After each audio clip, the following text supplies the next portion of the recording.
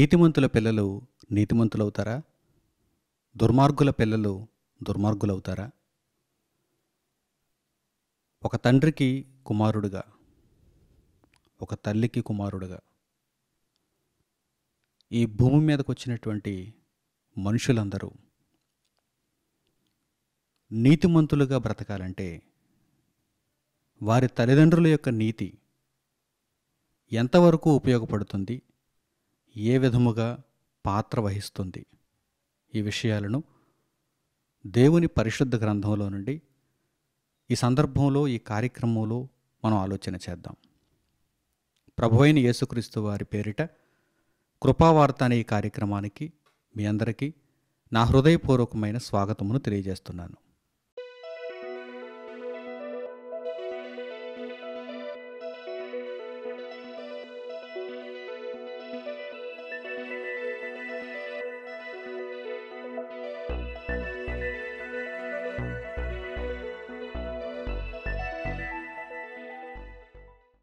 ఒక మనిషి నీతిమంతుడిగా బ్రతకాలంటే ఆ మనిషిని కన్నటువంటి తల్లిదండ్రుల యొక్క పాత్ర ఏ విధంగా ఉంటుంది? ఎంతవరకు ఉంటుంది? కొంతమంది పిల్లలు అనాథలుగా కూడా కనిపిస్తున్నారు. అంటే వారు పుట్టినప్పుడు వెంటనే ఆ తల్లిదండ్రులను వారు కోల్పోవడం కావచ్చు. లేక కొంతమంది తల్లిదండ్రులు తమ పిల్లలను అనాథలుగా ఎక్కడైనా వదిలేయడం కావచ్చు. ఇటువంటి పరిస్థితుల్లో కూడా ఒక మనిషి యొక్క భవిష్యత్తును ఒక మనిషి దేవునిలో తన బ్రతుకును నిర్మించుకొనుటను తల్లిదండ్రులు ఏ విధముగా తీర్చిదిద్దాలి? తల్లిదండ్రులు వారి పిల్లల యొక్క భవిష్యత్తును దేవునిలో ఏ విధముగా తీర్చిదిద్దాలి? పిల్లల యొక్క భవిష్యత్తులో తల్లిదండ్రుల యొక్క పాత్ర ఎంతవరకు ఉంటుంది? ఏ విధంగా ఉంటుంది? తల్లిదండ్రులు నీతిమంతులైతే పిల్లలు కూడా ఖచ్చితంగా నీతిమంతులుగానే ఉంటారా? తల్లిదండ్రులు దుర్మార్గులైతే పిల్లలు కూడా ఖచ్చితంగా దుర్మార్గులుగానే ఉంటారా? అసలు ఏ సందర్భంలో ఎవరు ఎలా తయారవుతారు? ఈ విషయాలను పరిశుద్ధ గ్రంథంలో మనం ఆలోచన చేద్దాం. మొట్టమొదట నీతిమంతులను గురించి మనం ఆలోచిస్తే చాలా విషయాలు మనకు అర్థమవుతాయి. నీతిమంతులైన తల్లిదండ్రులు. మనుషులలో ఎందరైతే యథార్థవంతులుగా నీతిమంతులుగా బ్రతుకుతారో వారి సంతానము కూడా నీతిమంతులుగా బ్రతకటానికి అవకాశాలు మెండుగా ఉంటాయి. అంతేగాని నీతిమంతులైనటువంటి తల్లిదండ్రులకు పుట్టినటువంటి పిల్లలు ఖచ్చితంగా నీతిమంతులే అవ్వాలనేటువంటి నియమం ఏమీ ఎక్కడా లేదు. చరిత్రలోని ఎన్నో సందర్భాలను మనం ఆలోచన చేస్తే ఈ విషయాలను దేవుడు మనకు తెలియజేస్తున్నాడు. వ్రాయబడినటువంటి ఒక చక్కని మాటను పరిశుద్ధ గ్రంథంలో నుండి ఇప్పుడు మనం చూద్దాం. సామెతల గ్రంథము ఇరవయవ అధ్యాయము ఏడవ వాక్యాన్ని చూడండి. చాలాసార్లు పరిశుద్ధ గ్రంథంలో ఇటువంటి మాటలను చదువుతున్నప్పుడు మీకు సందేహం కూడా కలుగుతుంది. ఆ సందేహాలన్నీ ఇప్పుడు ఈ కార్యక్రమంలో ఈ పాఠ్యాంశం ద్వారా నివృత్తి కావాలని నేను కోరుకుంటున్నాను. సామెతల గ్రంథము ఇరవయవ అధ్యాయము ఏడవ వాక్యాన్ని ఇప్పుడు మీరు చూడండి.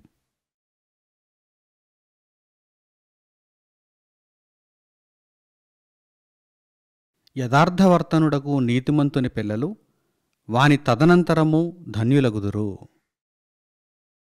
వ్రాయబడినటువంటి ఈ మాటలను చక్కగా మనం ఆలోచన చేయగలిగితే యథార్థవర్తనుడకు నీతిమంతుని పిల్లలు. అంటే ఈ భూమి మీద యథార్థముగా నీతిలో నివసించినటువంటి వారి యొక్క సంతానం. వారు నీతిమంతులుగా బ్రతికేటువంటి అవకాశం ఉంది. వారు ధన్యులయ్యేటువంటి అవకాశం ఉంది. యథార్థవర్తనుడకు నీతిమంతుని పిల్లలు ధన్యులవుతారు. అవకాశం ఉంది అని దేవుడు తెలియజేస్తున్నాడు. ఈరోజు సమాజంలో మన చుట్టూ ఉన్నటువంటి మనుషుల మధ్య ఎన్నో విషయాలను మనం గమనిస్తున్నాం. ఒక కలెక్టర్ కొడుకు కలెక్టర్ అయ్యేటువంటి అవకాశాలు ఎక్కువగా ఉంటాయి. ఎందుకంటే కలెక్టర్గా పనిచేస్తున్నటువంటి తండ్రి తన కుమారునికి చక్కని గైడెన్స్ ఇస్తాడు. నీవు కూడా కలెక్టర్ అవ్వాలంటే ఎలా చదవాలి? ప్రారంభం నుంచి బేసిక్స్ నుంచి కూడా నీవు ఎలా పునాది వేసుకుంటూ రావాలి? ఈ విధంగా తర్ఫీదునిస్తాడు అలాగని కలెక్టర్ల పిల్లలందరూ కూడా కలెక్టర్లు అయిపోతారా? కొంతమంది మాత్రం అవుతారు. కలెక్టర్ల పిల్లలు కలెక్టర్లు అయిన వారు కొంతమంది ఉన్నారు కానీ అందరూ కాలేకపోయారు. అందరూ కారు. ఒక పోలీసు తనకు పుట్టినటువంటి కుమారుణ్ణి కుమార్తెను పోలీస్ చేయటానికి మంచి తర్ఫీదునిస్తాడు. ఇవ్వగలడు. తన వృత్తిని ప్రేమిస్తూ తన తదనంతరం తన పిల్లలు కూడా ఈ వృత్తిలో రాణించాలని కోరుకునేవారు. వారి పిల్లలకు సరైనటువంటి మార్గనిర్దేశకాలను అందిస్తారు. ఒక వైద్యుడు ఉన్నాడు అనుకోండి సాధారణంగా ఈ ఉదాహరణను మనం వైద్యులు ఎక్కువగా చూస్తూ ఉంటాం. వైద్యుల పిల్లలు వైద్యులవుతూ ఉంటారు. వైద్య రంగంలో వారికి ఎన్నో అనుభవాలు తెలుసు కనుక తల్లిదండ్రులైన వారికి వైద్య రంగంలో ఎన్నో అనుభవాలు వారికి తెలుసు కనుక వారి పిల్లలు వైద్యులు అవ్వాలంటే చిన్నప్పటి నుంచి వారి యొక్క శిక్షణ ఎలా ఉండాలో వారి యొక్క తర్ఫీదు వారి యొక్క పోరాటం వారి యొక్క శ్రమ ఇవన్నీ కూడా ఎలా ఉండాలో వీరికి తెలుసు. కనుక వారి పిల్లలు వైద్యులు అవ్వటానికి వీరు సహకరిస్తారు. మంచి తర్ఫీదునిస్తారు.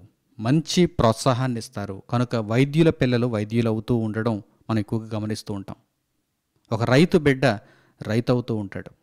ఒక వ్యాపారస్తుని బిడ్డ వ్యాపారస్తుడు అవుతూ ఉంటాడు. సమాజంలో మనం ఎన్నిటినో ఇలాంటి ఉదాహరణలను చూడటం లేదా? ఒక టీచర్కి పుట్టినటువంటి పిల్లలు టీచర్లు అవుతూ ఉంటారు.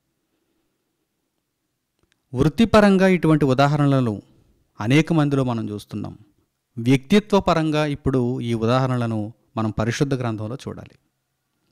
వృత్తిపరంగా ఇటువంటి ఉదాహరణలు సమాజంలో మనం చూస్తున్నాం. వ్యక్తిత్వ పరంగా పర్సనాలిటీ పరిశుద్ధ గ్రంథంలో ఈ ఉదాహరణలను మనం చూడాలి. దేవుడు తెలియజేస్తున్నటువంటి మాట ఏంటంటే యథార్థవర్తనుడకు నీతిమంతుని పిల్లలు ధన్యులగుదురు. ఎందుకంటే చాలా అవకాశాలు ఉన్నాయి నీతిని బోధించటానికి యథార్థతను తెలియచేయటానికి దేవుని వాక్యములు ఆ పిల్లలను చిన్నప్పటి నుండి సరైనటువంటి పెంపకంలో ఉంచటానికి ఎన్నో అవకాశాలు ఉన్నాయి ఎన్నో అవకాశాలు ఉన్నాయి కనుక దేవుడు చాలా సందర్భాలలో ఈ విషయాన్ని ప్రస్ఫుటంగా తెలియజేశాడు. ఏ తల్లిదండ్రులు కూడా విస్మరించవద్దు మీ పిల్లలను విస్మరించవద్దు. మీరు ఎలాగైతే నీతి మార్గంలో నడుచుకుంటున్నారో మీరు ఎలాగైతే యథార్థవర్తనులుగా ఉన్నారో మీ పిల్లలు కూడా అదే మాదిరిగా నీతి మార్గంలో నడుచుకోవటానికి మీరు చేయూతనివ్వాలి. చేయూతనివ్వాలి. ఒక డాక్టర్కి పుట్టిన వారు డాక్టర్లు అవ్వటంలో ఈరోజు వింతేమీ లేదు. అది ఒక సామాన్యమైనటువంటి కార్యక్రమంగానే మనం చూస్తాం. తల్లిదండ్రులు డాక్టర్లు కనుక పిల్లలు కూడా డాక్టర్లు అయ్యారు ఎందుకంటే మంచి తర్ఫీదు అని మనం భావిస్తూ ఉంటాం. డాక్టర్ల పిల్లలు డాక్టర్లు కాకపోతే అప్పుడు కొంచెం వింతగా చూస్తారు. కానీ డాక్టర్ల పిల్లలు డాక్టర్లు అయితే అది సహజమైన విషయమే అని మనం అనుకుంటాం. అయితే ఇక్కడ మరలా మనం ఆలోచించవలసిన విషయం ఏంటంటే తల్లిదండ్రులు డాక్టర్లు కాకపోయినా పిల్లలు డాక్టర్లు అవుతూ ఉంటారు. అప్పుడు వారిని అభినందిస్తూ ఉంటాం. తల్లిదండ్రులు డాక్టర్లు కారు కానీ పిల్లలు డాక్టర్లు అయ్యారు. అభినందిస్తూ ఉంటాం. తల్లిదండ్రులు ఇంజనీర్లు కారు పిల్లలు ఇంజనీర్లు అయ్యారు. కష్టపడి చదువుకున్నారు. వారి తల్లిదండ్రుల యొక్క కష్టం అందులో ఉంది. కానీ తల్లిదండ్రులు ఇంజనీర్లు కాకపోయినా విద్యావేత్తలు కాకపోయినా వారికి ఈ రంగంలో అంతగా నైపుణ్యత లేకపోయినా తమ పిల్లలను మాత్రం చక్కగా వారు తీర్చిదిద్దారు అని మనం ఆలోచిస్తూ ఉంటాం. ఆ పిల్లలను మనం అభినందిస్తూ ఉంటాం. తల్లిదండ్రులు కలెక్టర్లు కాకపోయినా పిల్లలు కలెక్టర్లు అయ్యారనుకోండి చాలామంది వారిని అభినందిస్తారు. పేదరికంలో నుండి వచ్చి కలెక్టర్ అయ్యాడు అని అభినందిస్తారు కదా. ఈ విధంగా మీరు ఈ విషయాన్ని కూడా ఈ కోణంలో కూడా ఆలోచించగలిగితే ఈ లోకమందు తల్లిదండ్రులు నీతిమంతులు కాకపోయినా తల్లిదండ్రులలో యథార్థత లేకపోయినా కొంతమంది పిల్లలు నీతిని సంపాదించుకుంటూ ఉంటారు. ఆ తల్లిదండ్రులు వారి యొక్క అనుభవాలను వారికి చెప్పడం వలన కావచ్చు దేవుని యొక్క సహాయము వారికి అందడం వలన దేవుని కృపచేత వారు నీతిమంతులుగా మారుతూ ఉంటారు. ఏదేమైనప్పటికీ వీటన్నిటిని మనం క్రోడీకరించగలిగితే యథార్థవర్తనులు నీతిమంతులైనటువంటి తల్లిదండ్రులకు పుట్టినటువంటి పిల్లలు ధన్యులవుతారు. వారు ధన్యులయ్యేటువంటి అవకాశాలు మెండుగా ఉన్నాయి. ఒకవేళ తల్లిదండ్రులలో నీతి కనిపించకపోయినా పిల్లలలో నీతి కనిపించినప్పుడు అది అభినందించదగినటువంటి విషయం అనేటువంటి సంగతులను మనం చక్కగా పరిశుద్ధ గ్రంథం నుండి నేర్చుకోవాలి. ప్రతి ఒక్కరూ నీతిలోనూ యథార్థతలోనూ ముందుకు కొనసాగాలన్నదే దేవుని యొక్క ఆలోచన. తల్లిదండ్రులుగా ఉండి పిల్లలుగా ఉండి మీరంతా కూడా దేవుని నీతి మార్గంలో నడుచుకోవాలన్నదే దేవుని ఆలోచన. అందుకే దేవుడు నీతి అనేది తరతరాలుగా వెళ్ళాలి అని దేవుడు కోరుకుంటున్నాడు. ఒకరి నుండి ఒకరికి అందించబడాలి అని దేవుడు ఆశిస్తున్నాడు. ఒక మనిషిలో దేవుడు నీతిని కోరుకుని అక్కడితో ఆయన సరిపెట్టడం లేదు. ఒక తరంలో దేవుడు నీతిని కోరుకుని ఆ తరంతో దేవుడు సరిపెట్టడం లేదు. నీతి అనేది భవిష్యత్తు తరాలకు అందించబడాలి. ఆ విధంగా ఉండాలని దేవుడు ఆశిస్తున్నాడు. అందుకే నీతిమంతులైన తల్లిదండ్రులను దేవుడు దీవిస్తున్నాడు. వారికి పుట్టినటువంటి సంతానము నీతిమంతులుగా మారాలని దేవుడు ఆకాంక్షిస్తున్నాడు. అలా మారినప్పుడు దేవుడు వారిని చూచి వారిని ధన్యులు అంటున్నాడు. కీర్తనల గ్రంథంలో మరో అద్భుతమైనటువంటి విషయాన్ని ఈ సందర్భాన్ని అనుసరించి మనం చూద్దాం. నూట పన్నెండవ కీర్తన మొదటి వాక్యం నుండి చూడండి. నూట పన్నెండవ కీర్తన మొదటి వాక్యం నుండి.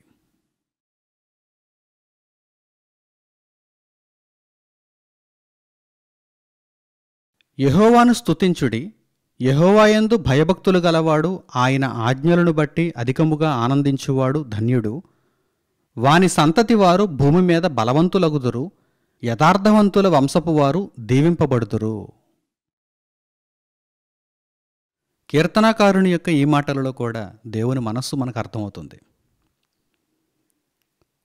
యహోవాయందు భయభక్తులు కలిగి దేవుని ఆజ్ఞలను బట్టి ఆనందించుచు వారు ధన్యులుగా బ్రతుకుతున్నప్పుడు వారి సంతానపు వారు బలవంతులవుతారు. వారి సంతానమును దేవుడు దీవిస్తాడు అని ఇక్కడ మనం చదువుకున్నాం. ప్రియులారా నిజంగా ఒక మనిషి యొక్క వ్యక్తిత్వాన్ని తీర్చిదిద్దడంలో తల్లిదండ్రుల యొక్క పాత్ర చాలా గొప్పగా ఉంటుంది. చాలా మిన్నగా ఉంటుంది. కనుక తల్లిదండ్రులైన వారు దేవుని ఎడల భయభక్తులు కలవారైతే తల్లిదండ్రులైన వారు దేవుని ఆజ్ఞలను బట్టి మిక్కిలి సంతోషించి ఆనందించువారైతే వారు ధన్యులై వారి సంతానమును కూడా దేవుని మార్గములో నిలబెట్టగలిగినటువంటి గొప్పవారు అవుతారు ఒక మనిషిని దేవునిలో నిలబెట్టడం అంటే అది చాలా గొప్ప విషయం. అది చాలా గొప్ప విషయం. తల్లిదండ్రులకు దేవుడు ఈ బాధ్యతలను అప్పగించాడు. మీకు నేను ఇచ్చినటువంటి బహుమానములను మీ గర్భఫలములను దేవుని మార్గంలో నిలబెట్టండి. వాక్యములో నిలబెట్టండి. మీరెలాగైతే నీతిని అనుసరించి నడుచుకుంటున్నారో మీరెలాగైతే యథార్థతను అనుసరించి నడుచుకుంటున్నారో మీ పిల్లలు కూడా అదే విధముగా యథార్థవంతులుగా నీతిమంతులుగా మారడానికి మీరు సహకరించండి. ప్రోత్సాహాన్నివ్వండి శిక్షణనివ్వండి అని దేవుడు తెలియజేస్తున్నాడు. అప్పుడు వారు బలవంతులు అవుతారు అప్పుడు వారు దీవింపబడతారు. నిజంగా దేవుని మహారక్షణ ఈరోజు మనము యేసుక్రీస్తు ప్రభువు ద్వారా పొందగలుగుతున్నాము అంటే అనేక విషయాలలో ఈ సంగతిని దేవుడు రూఢిపరిచాడు. రూఢిపరిచాడు. పరలోకమంతున్న తండ్రి తండ్రికి కుమారుడుగా యేసుక్రీస్తు ప్రభు. తండ్రిలో ఉన్న దైవత్వమును పూర్తిగా పుణికిపుచ్చుకున్నవాడు కుమారుడైన యేసుక్రీస్తు ప్రభువు ఈరోజు దేవుని మార్గములో మనలను నడిపిస్తున్నటువంటి పరిశుద్ధాత్మ శక్తి కూడా దేవునికి కుమారుడైన ఆత్మ. దైవ లక్షణాలను పూర్తిగా కలిగి ఉన్నవారుగా కనిపిస్తున్నారు. చూడండి దైవ లక్షణాలను పూర్తిగా కలిగి ఉన్నవారుగా కనిపిస్తున్నారు. యేసుక్రీస్తు ప్రభువులో దైవత్వము సంపూర్ణముగా నివసించుట అనే విషయాన్ని మనం గమనిస్తున్నప్పుడు తండ్రి నుండి ఆయన ఈ గొప్ప లక్షణాలను ఆపాదించుకున్నారు సంపాదించుకున్నారు. దానికి తగ్గట్టుగా ఆయన మనకు కనిపిస్తున్నారు. అలాగే యేసుక్రీస్తు ప్రభు ఆత్మను బట్టి దేవునికి కుమారుడు. దైవత్వమును సంపూర్ణముగా కలిగి ఉన్నవాడు. శరీరమును బట్టి దావీదుకు కుమారుడు. దావీదు వంశావళి దావీదుకు ముందు దావీదు యొక్క పితరులు అబ్రహాము దగ్గర నుంచి మనం ఆలోచన చేయగలిగితే అబ్రహాము వంశావళి ఈ వంశావళిని గూర్చి మనం ఆలోచన చేస్తున్నప్పుడు ఒక నీతిమంతుని నుండి మరో నీతిమంతుడు వచ్చాడు. ఆ నీతిమంతుని నుండి మరో నీతిమంతుడు వచ్చాడు. ఆ నీతిమంతుని నుండి మరో నీతిమంతుడు వచ్చాడు. ఒక రైలు పెట్టెలను మనం చూస్తున్నప్పుడు రైలు వేగంగా వెళ్తున్నప్పుడు ఆ రైలు పెట్టెలను మనం చూస్తున్నప్పుడు ఒకదానికొకటి ఒకదానికొకటి ఒకదానికొకటి లింక్ చేయబడి ఉంటాయి. ఆ లింక్ ఎప్పుడైతే ఊడిపోతుందో అప్పటితో ఆ పెట్టులు అక్కడ ఆగిపోతాయి మిగిలిన పెట్టులు వెళ్ళిపోతాయి. లింక్ తెగిపోకూడదు. లింక్ పటిష్టంగా ఉండాలి. ఒక పెట్టె తర్వాత ఒక పెట్టె ఒక పెట్టె తర్వాత ఒక పెట్టె ఒక పెట్టె తర్వాత ఒక పెట్టె. ఈ విధముగా నీతిమంతుల యొక్క వంశావళిని మనం చూడగలిగితే ఒకరి వెంట ఒకరు ఒకరి వెంట ఒకరు ఒకరి వెంట ఒకరు. నిజంగా ఈ సంగతులను మనకు దేవుడు నేర్పిస్తూ ఇదే పాఠ్యాంశాన్ని మనకు అనుగ్రహిస్తున్నాడు. పరలోకంలోనూ ఇదే సన్నివేశం. భూమి మీద ఇదే సన్నివేశం. ఒక తండ్రి నుండి కుమారునికి దైవత్వము ఎలా వెళ్ళిందో చూడండి ఆ వ్యక్తిత్వము ఎలా వెళ్ళిందో చూడండి. ఇలా వెళ్ళటంలో ఇలా ఒకరి నుండి ఒకరికి మనము ఈ సంక్రమణ చూడటంలో ఎవరి పాత్ర ఉన్నది? ఇటు తండ్రి పాత్ర ఉన్నది ఇటు కుమారుని పాత్ర ఉన్నది. తండ్రి ఎలా ఉండాలో నేర్పిస్తాడు. కుమారుడు తండ్రి మాటను గౌరవించి ఎలా ఉండాలో నేర్చుకొని బ్రతకాలి. ఇద్దరి పాత్ర మనకు కనిపిస్తుంది. కుమారుడు ఎదురు తిరిగితే తండ్రి ఏం చేయగలడు? తండ్రి సరైన శిక్షణ ఇవ్వకపోతే కుమారుడు కూడా సరైన శిక్షణలో ఉండలేడు. కనుక నీతి అనేది తరతరాల పాటు మనకు కనిపించాలంటే ఒకరి నుండి ఒకరికి ఒకరి నుండి ఒకరికి నీతి అనేది కనిపించాలంటే యథార్థత అనేది కనిపించాలంటే తల్లిదండ్రులలోనూ పిల్లలలోనూ కూడా ఆ బాధ్యత ఉన్నది. వీరిద్దరి పాత్ర కూడా చాలా ముఖ్యమైనది అని మనం గ్రహించాలి. ఆలోచన చేస్తున్నారా? అబ్రహాముకు కుమారుడు ఇస్సాకు ఇస్సాకు కుమారుడు యాకోబు యాకోబు తర్వాత పన్నెండు మంది ఇస్రాయేలీలు. ఇస్రాయేలీల తర్వాత దేవుడు ఆ నీతిని ఒక్కొక్కరి ద్వారా ఒక్కొక్కరి ద్వారా చూస్తున్నాడు చూడండి. మతేసు వార్త మొదటి అధ్యాయంలోను లోకాసు వార్త మూడో అధ్యాయంలోను యేసుక్రీస్తు ప్రభు యొక్క వంశావళి మనకు కనిపిస్తుంది. యేసుక్రీస్తు ప్రభు యొక్క వంశావళి. మతేసు వార్తలో అయితే అబ్రహాము గారి దగ్గర నుంచి మొదలుపెట్టి లోకాసు వార్తలో అయితే ఆదాము దగ్గర నుండి కూడా ఆ వంశావళి మనకు కనిపిస్తుంది. ఈ వంశావళిని మనం చూస్తున్నప్పుడు ఎక్కడ కూడా లింక్ తెగిపోలేదు చూడండి. ఒకవేళ నీతిమంతుని గర్భాన ఒక చెడ్డవాడు పుట్టిన అంటే వాడు పుట్టిన తర్వాత చెడ్డవాడు అయిపోయాడు వాడు చెడ్డవాడుగా కనిపిస్తున్నా వాడు పక్కకు వెళ్ళిపోయాడు కానీ నీతిమంతుడిగా మరొకడు కనిపిస్తున్నాడు. ఉదాహరణకు అబ్రహాము గారిని తీసుకోండి. అబ్రహాము గారికి ముందు ఇష్మాయిల్ పుట్టాడు తర్వాత ఇస్సాకు పుట్టాడు. కానీ ఆ సంబంధాన్ని కొనసాగించుకున్నది ఎవరు ఇస్సాకు మాత్రమే. ఇస్సాకు మాత్రమే ఇష్మాయేలు కాదు. ఇష్మాయేలు వెళ్ళగొట్టబడ్డాడు ఇష్మాయేలు దూరమైపోయాడు. కానీ ఇస్సాకు అబ్రాహాము గారిలో ఉన్నటువంటి నీతిని పుణికిపుచ్చుకున్నాడు. ఆ నీతిని సంపాదించుకుని దానిని కొనసాగించాడు ఇస్సాకు తదనంతరం. యాకోబుకు ఆ నీతినిచ్చాడు. ఇస్సాకు గర్భాన కూడా ఇద్దరు పుట్టారు. ఒకడు ఏసావు మరొకడు యాకోబు. ఏసావులో ఆ నీతి కనిపిస్తుందా? ఆ యథార్థత కనిపిస్తుందా? ఆ నీతి సంక్రమణ కనిపిస్తుందా? లేదు. అలాగని ఏసావు ఇస్సాకుకు పుట్టాడు. అలాగని ఇష్మాయేలు అబ్రహాముకు పుట్టాడు. గొప్పవారి కడుపున పుట్టిన పిల్లలలో ఆ బాధ్యత లేదనుకోండి. అంటే నా తండ్రి చెప్పినట్టుగా నేను బ్రతకాలని నా తండ్రి చూపినటువంటి విధేయత నేను కూడా దేవునికి చూపించాలనేటువంటి ఆలోచన పిల్లలలో లేకపోయినా సరే తల్లిదండ్రుల్లో ఉన్నా సరే అది ప్రమాదకరమే. అందువలననే దేవుడు ఏమంటున్నాడంటే యథార్థవంతులు నీతిమంతులైనటువంటి తల్లిదండ్రులకు పుట్టినటువంటి పిల్లలలో కూడా బాధ్యత ఉంది. వారు కూడా బాధ్యత తీసుకోవాలి. అప్పుడు మాత్రమే నీతి తరతరాల పాటు కొనసాగుతుందని దేవుడు సెలవిస్తున్నాడు. దేవుడు అబ్రహాముతో చేసినటువంటి వాగ్దానం కేవలం అబ్రహాముతో మాత్రమే చేయలేదు. అబ్రహాము తరువాత వచ్చేటువంటి సంతానం అంతటితో దేవుడు వాగ్దానం చేశాడు. లోకానికి రక్షణ కలగాలంటే ఇదిగో అబ్రహాము నీ గర్భాన పుట్టేటువంటి పిల్లలు కూడా నీ వలె నీతిమంతులై ఉండాలి. వారి గర్భాన పుట్టేటువంటి పిల్లలు కూడా నీ వలె నీతిమంతులై ఉండాలి. వీరందరూ ఈ నీతిని ఎంతవరకు ఆపాదించుకుంటూ దానిని నిలబెట్టుకుంటూ వెళ్ళాలి అంటే నా కుమారుడైన యేసుక్రీస్తు ప్రభువు శరీరధారిగా ఈ భూమి మీదకి వచ్చేంత వరకు కూడా ఆ వంశావళి అలా కొనసాగాలని దేవుడు నిర్ణయించాడు. ఆ విధంగానే దేవుని మాటలకు విలువనిచ్చి దేవుడు చేసిన వాగ్దానాన్ని నిలబెట్టుకొనుట కొరకు ఆయా తరాలలో ఆ నీతిమంతులందరూ కూడా మనకు కనిపిస్తున్నారు. మతేసు వార్తలో మొదటి అధ్యాయంలో మీరు చూచిన లోకాసు వార్తలో మూడో అధ్యాయంలో మీరు చూచిన ఎక్కడ కూడా తప్పిపోకుండా తొలగిపోకుండా కొంతమంది నీతిమంతుల గర్భాన పుట్టినా కానీ చెడ్డవారైపోయారు వారు తొలగింపబడ్డారు. కానీ అదే నీతిమంతుని గర్భాన మరల ఒక మంచివాడు ఒక నీతిమంతుడు ఒక యథార్థవంతుడు పుట్టాడు. ఆలోచన చేస్తున్నారా? ప్రియులారా ఈ మాటలన్నిటిని ఈ సందర్భాలన్నిటిని మనం గమనిస్తున్నప్పుడు మన వ్యక్తిత్వాన్ని దేవునిలో కాపాడుకోవటం చాలా ముఖ్యమైనటువంటి విషయం. మన తల్లిదండ్రుల ప్రోత్సాహం మనకు లభిస్తే అది గొప్ప విషయం. మనం నీతిమంతులుగా బ్రతకాలి యథార్థవంతులుగా కొనసాగాలి. ఒకవేళ తల్లిదండ్రులకు ప్రోత్సాహం లేకపోయినా మనం దేవుని మార్గంలో నిలబడటానికి దేవుని సహాయాన్ని తీసుకోవాలి. ఏదేమైనప్పటికీ మనము నీతిమంతులుగా యథార్థవంతులుగా బ్రతుకుతూ ఈ నీతిని తరువాతి తరాలకు అందించాలి. ఇది దేవుని యొక్క ఉద్దేశ్యం. ఇది దేవుని యొక్క ఉద్దేశ్యం. ఒక మనిషిలో నీతి ఆగిపోవాలని యథార్థత అక్కడతో సరిపెట్టుకోవాలని దేవుడు అనుకోవటం లేదు. నీతి కొనసాగింపబడాలి ఈ భూమి ఉన్నంత వరకు.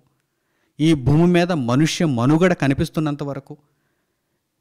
ఈ నీతి అనేది ఈ యథార్థత అనేది దేవుని ఎడల భయభక్తులు అనేవి ఏమవ్వాలి? కొనసాగింపబడాలి. ఒకరి నుండి ఒకరికి కొనసాగింపబడాలి. ఈరోజు వృత్తులు కొనసాగింపబడుతున్నాయి. ఈరోజు ధనము లేక ఆస్తి ఒకరి నుండి ఒకరికి సంక్రమించి కొనసాగింపబడుతున్నది.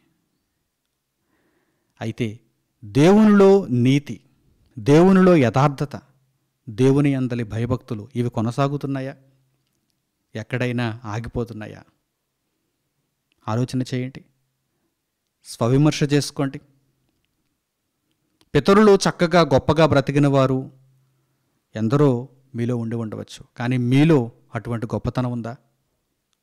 మీరు అంత గొప్పగా దేవుని కొరకు బ్రతకగలుగుతున్నారా? ఒకవేళ మీరు దేవుని కొరకు గొప్పగా బ్రతుకుతున్నా కానీ మీ తరువాతి తరాలకు ఆ భక్తిని ఆ నీతిని అందించగలుగుతున్నారా? ఒకవేళ పిల్లలు లేకపోతే కొందరికి కొందరు పిల్లలకి మీరు దేవుని వాక్యాలను నేర్పిస్తూ దేవుని జ్ఞానంలో వారిని నిలబెడుతూ వారిని మీరు ప్రోత్సహిస్తున్నవారుగా ఉండాలి. పిల్లలు లేరని మీరు ఊరకనే ఉండిపోవటానికి కూడా వీలు లేదు. సమాజంలో ఎందరో నీతి మార్గమునకు దూరమై బ్రతుకుతున్నవారు చిన్నారులుగా ఉన్నవారు ఎందరో ఉంటారు. అటువంటి వారికి నీతి బుద్ధులు నేర్పించడానికి మీ వంతు ప్రయత్నాన్ని మీరు చేయాలి. కనుక నీతి అనేది ఒకరిలోనో ఒక తరములోనో ఉండిపోవటానికి వీలు లేదని అనేక తరాల పాటు అనేక మంది మనుషులకు సంక్రమించాలని దేవుడు కోరుకుంటున్నటువంటి కోరికను మీరు తెలుసుకున్నవారైతే కనుక తరతరాలలో ధన్యతను చూడటానికి దేవుని ఆశను తీర్చటానికి అనేక మందిగా నీతిమంతులను దేవుని కొరకు పోగు చేయటానికి మనవంతు ప్రయత్నాలను సంపూర్ణంగా మనం చేయాలని హృదయపూర్వకంగా మిమ్మల్ని అందరినీ నేను కోరుకుంటూ ఈ సంగతులను ఇంతటితో నేను ముగిస్తున్నాను. తండ్రి అయిన దేవునికి ప్రార్థనలు ఏకీభవించండి. పరిశుద్ధుడు అయిన మా కన్న తండ్రి మీ ఉన్నతమైన ప్రేమకు ఈ సమయం మందు మీరు మాకు దయచేసిన అద్భుతమైన జ్ఞానము కొరకు మీకు మా హృదయపూర్వకమైన కృతజ్ఞతాస్థుతులు చెల్లిస్తున్నాము. దేవా ఈ మాటలు మాలో ప్రతిఫలించటానికి సహాయమును అనుగ్రహించండి.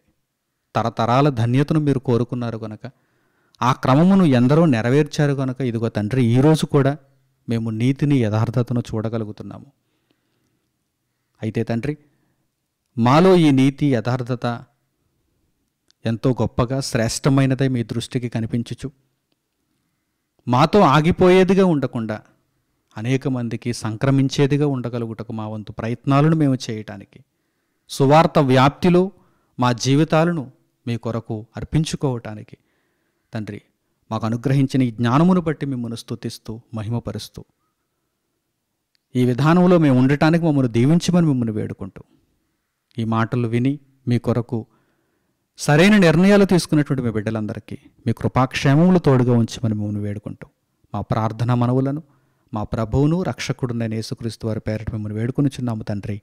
ఆమెన్. ప్రియులైన నా సహోదరి సహోదరులారా మీరింతవరకు కృపావార్త అనే కార్యక్రమాన్ని విని వీక్షించారు. ఈ కార్యక్రమం ప్రతి సోమవారం సాయంత్రం ఏడు గంటలకు ప్రసారమగుచున్నది.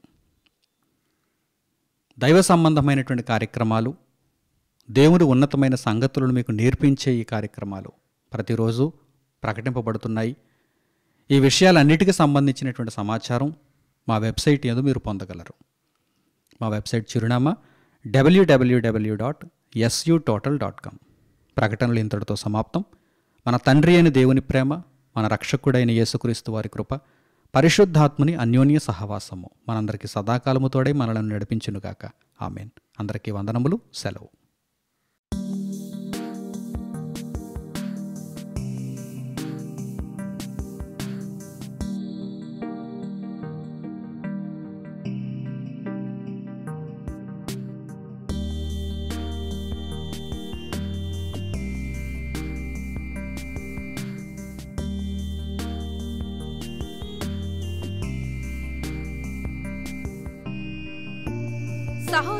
మణికుమార్ గారు ప్రసంగించిన ఎన్నో ఆత్మ సంబంధమైన సంగతులను ఉచితముగా వీక్షించుటకు మా యూట్యూబ్ ఛానల్స్ను తప్పక దర్శించండి. మా సమాచారమును ఎప్పటికప్పుడు తెలుసుకొని ఆత్మీయాభివృద్ధి నొందవలనంటే మా యూట్యూబ్ ఛానల్స్ను సబ్స్క్రైబ్ చేసుకోండి. సత్వర నోటిఫికేషన్ల కొరకు సబ్స్క్రైబ్ బటన్ ప్రక్కనే ఉన్న బెల్ సింబల్ను క్లిక్ చేయండి. ధన్యవాదములు.